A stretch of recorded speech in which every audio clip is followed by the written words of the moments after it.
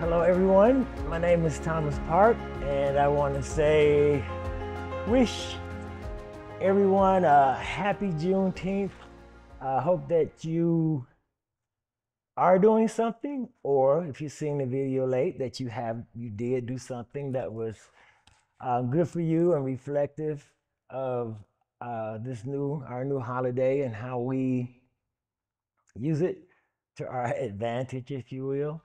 But today I wanted to just I appreciate Crystal of the Warrenist for allowing me to read, and I just wanted to share excerpts from three small pieces of literature that I think have a lot to do with uh, how we should celebrate, how we should celebrate and stay focused, especially on MLK Day and Juneteenth and days like that that we really had to struggle for uh, because history is very important.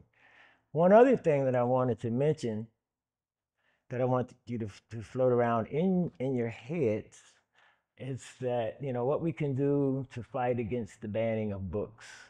Because the banning of books goes with history, goes with the banning of language, the banning of voice.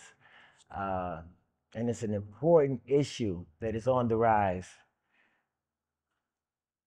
The other part is about rhetoric and rhetoric and the rhetoric that's being used today uh, in society surrounding almost all events. And rhetoric, rhetoric is, you know, basically the art of persuasion, of persuasive talk. And so in these three pieces, I want you to listen to the persuasive speech.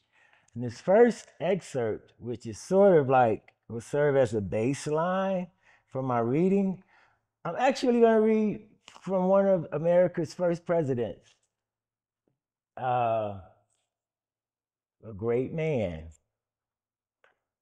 in history that we learn about all the time. It's good to know about him. Um, I'm talking about Thomas Jefferson. And you can look in the Library of Congress, you can look in the Smithsonian, you can look at, at Yale and any major university, and you will find his book, Jefferson's Notes on Virginia. And in his book, in his treatise, he was writing for the French people, but in his treatise, he talks about everything wonderful and glorious and even problematic about Virginia. Its rivers, its mountains, its caves, its agriculture, its Native American population, uh, the minerals, everything. But he has this section that he talks about the Negroes. And uh, Jefferson's notes came out in 1787. It's not like a class. But I want you to read, I want you to listen to some of the words of a founding father and take in consideration what Jefferson, what Frederick Douglass, when I read Douglass, is going to say about founding fathers. But Thomas Jefferson, and this is the same Jefferson who built University of Virginia, or had it built. And when he didn't like where it was, he had his slaves to take it down piece by piece and move it up to Monticello. And it was still 100 years before people of color could attend that university. But in Jefferson's notes, he says it will probably be asked why not retain and incorporate the blacks into the state and thus save the expense of supplying by importation of white settlers to make up for the vacancies when they leave? He says deep rooted prejudices entertained by the whites 10,000 recollections by the blacks of the injuries they have sustained, new provocations, the real distinctions which nature has made, whatever they are, and many other circumstances will divide us into parties and produce convulsions which will probably never end but in the extermination of one or the other race. Jefferson. He says, To these objections, which are political, may be added others which are physical and moral. And this is where it gets really wonderful. He says, The first difference that which strikes us is that of color. Whether the black of the Negro resides in the reticular membrane between the skin and scarf skin, whatever that is, or the scarf skin itself, whether it proceeds from the color of the blood or the color of the bile or from that of some other secretion within the man. The difference is fixed in nature and is as real as if its seat and cause were better known to us. And it's a difference, and it's this difference of no importance, he asks. It, it is not the foundation of a greater or less share of beauty of the two races. There are not fine mixtures of red and white, the expressions of every passion the expressions of every the expressions of every passion by greater or less suffusions of color in, in the one preferable to the eternal monotony which reigns in the consciousness of the, of the immovable veil of black which covers all the emotions of the other race. And to these flowing hair a more elegant symmetry of form their own judgment in favor of the whites declared by their preference of declared by their preference of the whites, uh, and uniformly as is as is the preference of the orangutan for the black woman over those of his own species, which is a sentence that always throws me. Um, he says, in the circumstance of superior beauty is thought worthy of attention in the propagation. He looks at the propagations of horses, dogs, and other domestic animals. Why not in that of man? Besides those of color, figure, and hair are other physical distinctions proving a difference of race. They have less hair on their face and body. They secrete less by the kidneys and more by the glands of skins, which give them a very strong and disagreeable odor. And that wouldn't, that, that could also be assuaged by not having a bath and having to work in fields for sun up to sunset you know, that might cause an odor. Um, he says the greater degree of transpiration renders them more tolerant of heat and less so of cold than the whites. Perhaps too a difference of structure in the pulmonary apparatus. I didn't know he had a doctor before his name also, but I mean these are things that that uh, a president wrote, and we know in the early 1900s, many of the presidents still were not down with, you know, people, they wanted black people free, but they didn't like necessarily black people. He also says that a black, after a hard day's labor, hard labor through the day, will be induced by the slightest amusement to sit up until midnight or later, though acknowledging he must be out at the first of dawn in the morning. They are at least brave and more adventuresome, but this may proceed from a want of forethought. Oh my gosh. I, I, I read this to my my students, and I let them read it and just consider, you know, what the danger in, in rhetoric is. Uh, he goes on to say, uh, you know, you can read this, you can find this. Uh, we, don't, we, we, we don't have a lot of time here for this, but um, I find all of all of his words about the Negroes or about the black man compelling, especially not even mentioning Sally Hemings' name. Uh, so, with that said, and this was 135 years before, since I came today, forgive my tie, it's hot all over the United States today. So, I, and it's hot here, and it's not it's not hot in, in, in, in at the studio, but um, it's very hot outside, and I wanted to just feel with you the heat. But I'm reading from Frederick Douglass, so I was trying to look as much like Frederick, Mr. Douglass, as I could. But in 1865, Frederick Douglass was asked to, I mean, he was always this fascinating man because he had escaped, learned how to read, escaped slavery. If you don't know the story, you know, we should familiarize ourselves with his story. Um, and he became a protege of the abolitionists. And I mean, he started newspapers. He traveled five, six, seven months a year speaking and touring. And uh, and at one point in time in America, probably around the time when um, 45 became president, and you know, people started taking pictures of him. I mean, I'm, I'm saying this. He was the most photographed man in America. Uh, you know, from the time he began to be photographed, everybody wanted to see Frederick Douglass, and there were so many pictures. I didn't believe it, and I looked. He at one point in time he was the most photographed man in America. But uh, in 1852, on July 5th, he was asked to give a keynote address uh, at an Independence Day celebration. And he was asked, or the day asked, the, the celebration asked, he was addressing what to this what to the slave is the Fourth of July. The longer piece, I have very small excerpts, but again, his rhetoric, the rhetoric he uses in addressing uh, these women, there probably were a few, probably were a few men there, but it was societal women, influential women who had influential husbands who probably, you know, could maybe help the cause, cause. And so he was there, and his address was "What to the slave This is the Fourth of July." And Douglass, again, as I said, he was a powerful orator. This was in New York, uh, in the Corinthian Hall in Rochester, and the speech actually has been called scathing And it's scathing because of the rhetoric. He says no bad words. It's, it's scathing because of the way he formalized it and, and delivered it. Um, he says, he says, this 4th of July is yours. It's not mine. You may rejoice. I must mourn. And he acknowledged in this speech, he acknowledged the forefathers of America. He acknowledged them calling them the architects of the Declaration of Independence for their commitment to the life, liberty, and pursuit of happiness. Doesn't sound angry. It doesn't.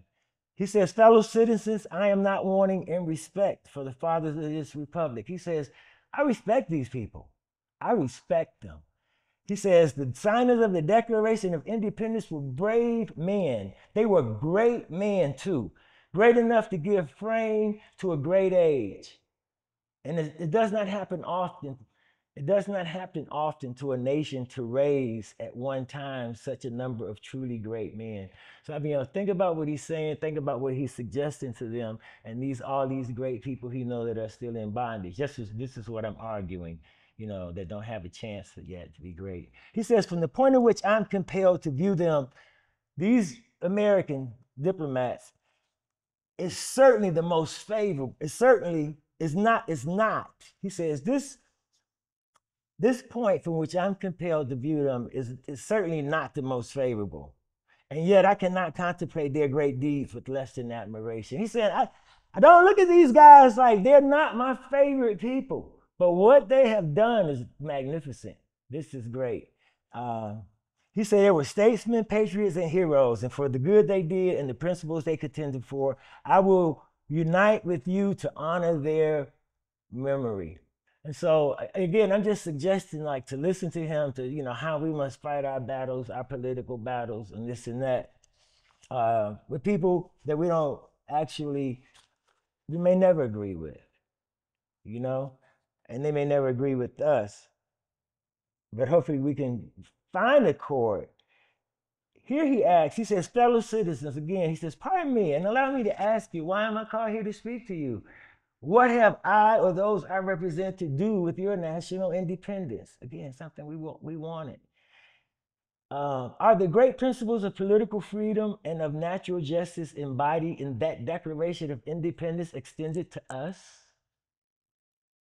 And am I therefore called upon to bring our humble offerings to the national altar and to confess the benefits and express devout gratitude for the blessings re- resulting from your independence to us.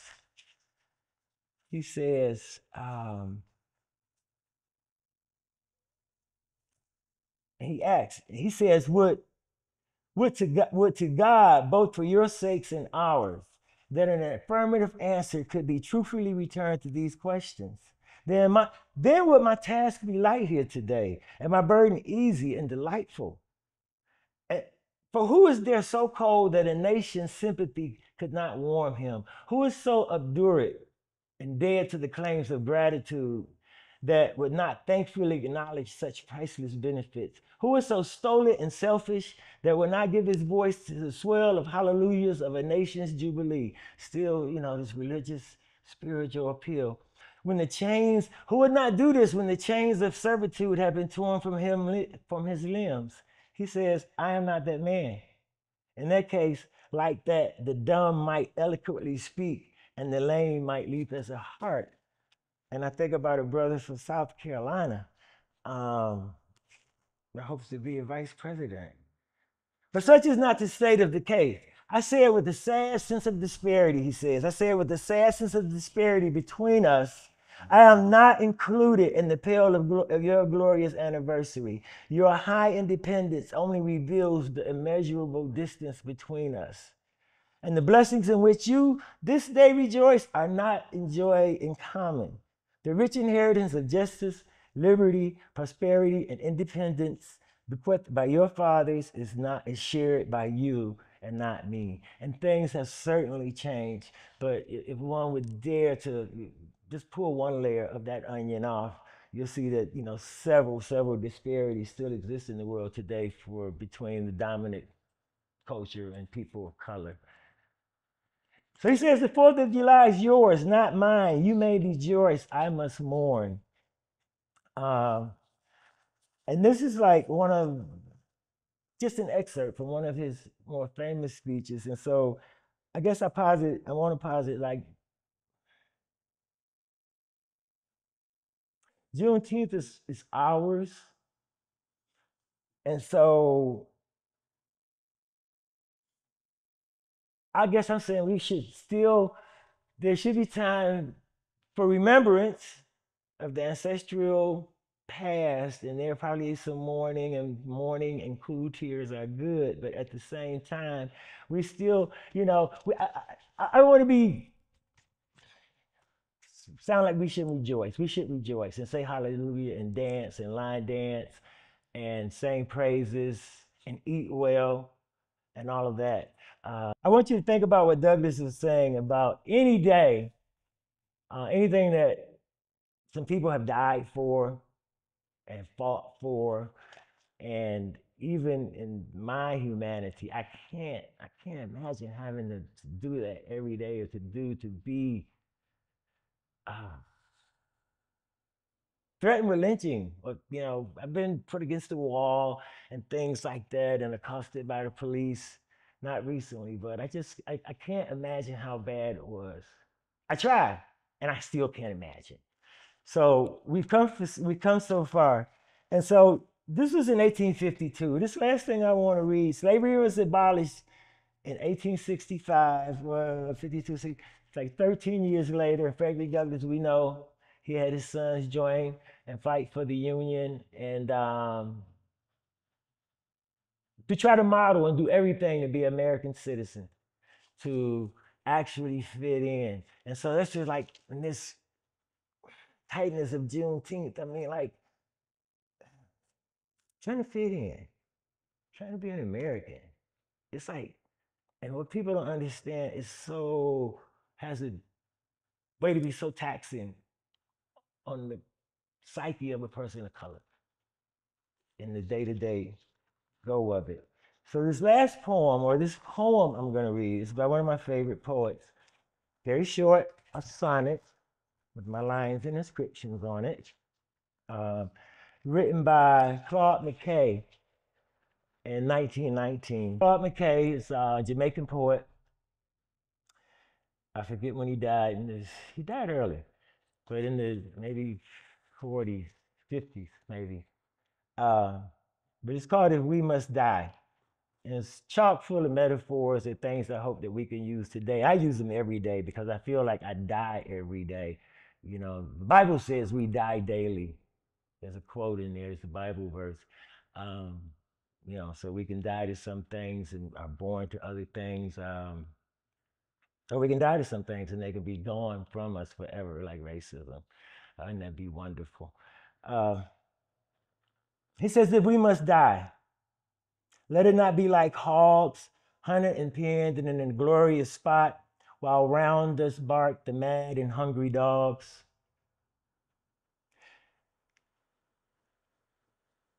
While around us bark the mad and hungry dogs, making their mark at our cursed lot. If we must die, oh, let us nobly die, so that our precious blood may not be shed in vain. Then even the monsters we defy shall be constrained to honor us though dead.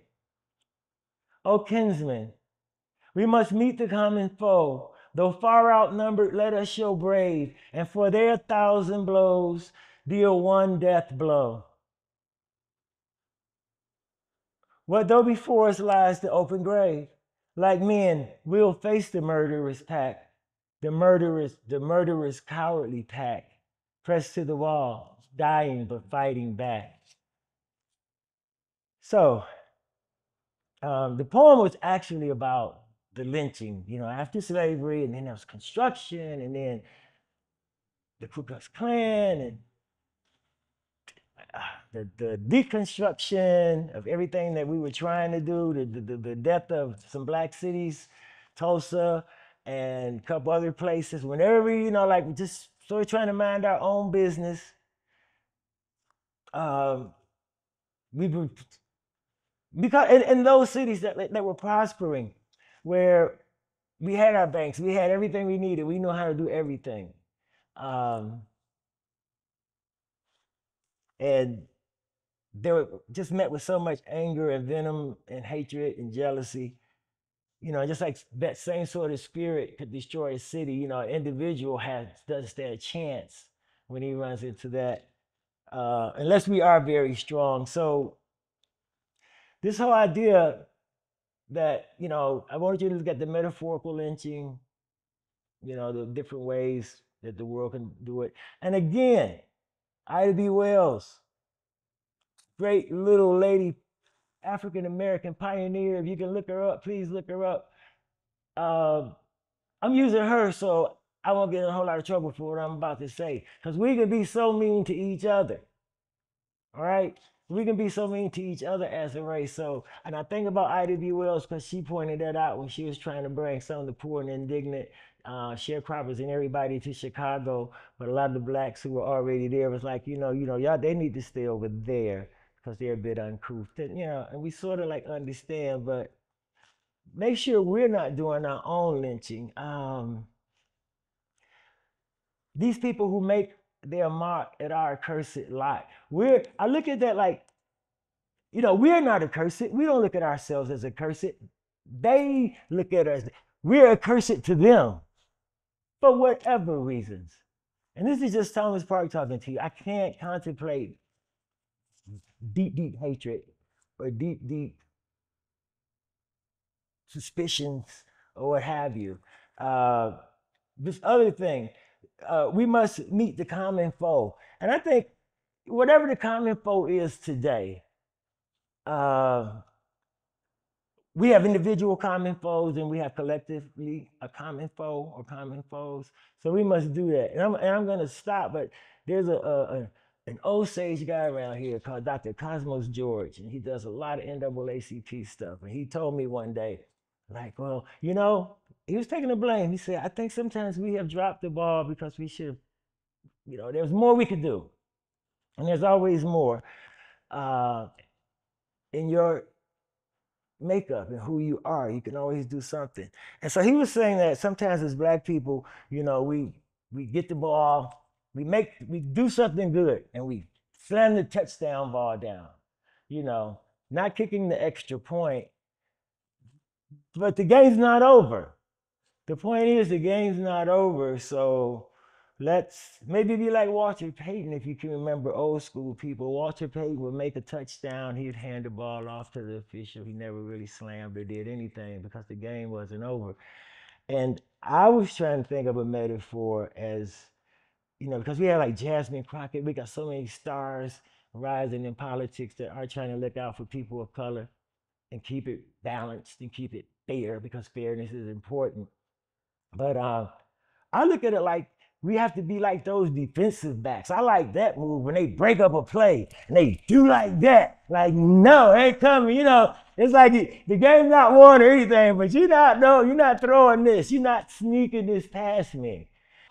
Uh, I'm trying to get used to Juneteenth. I don't want to do anything tomorrow but write, do something that Thomas wants to do. Um, enjoy some sunshine, embrace the heat. But I'm trying to, you know, be different. I can't afford to be off. I know that some of us can't afford to be off. Some of our employers won't let us be off. They just won't, not on that day.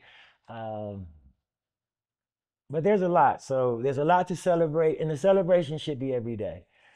The, the, we should celebrate some freedoms every day, I think. And I thank you very much for allowing me to be here. I wish you all many, many, many more MLK days, many, many, many more Juneteenth, and many, many, many more birthdays. Thank you.